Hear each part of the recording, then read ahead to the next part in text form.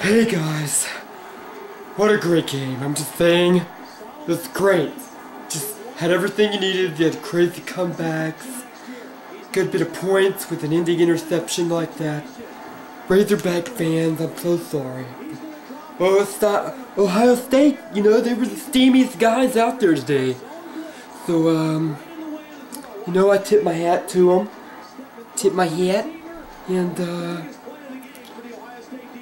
You know, they won the 2011 All-State Sugar Bowl. Congratulations to those steamy fellas. So steamy.